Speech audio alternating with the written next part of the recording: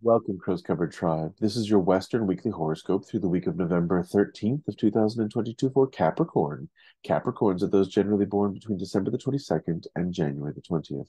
Capricorn, at the beginning of the week, allow yourself to fall in love. It's high time you take that romantic path. You've been feeling lonely for a while, and there's nothing wrong with giving your heart to someone special. In the middle of the week, avoid technology.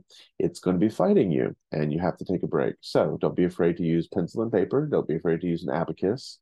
Wait for this shift to lift. Then you can get back to your cell phones and calculators. At the end of the week, it's time to celebrate with friends.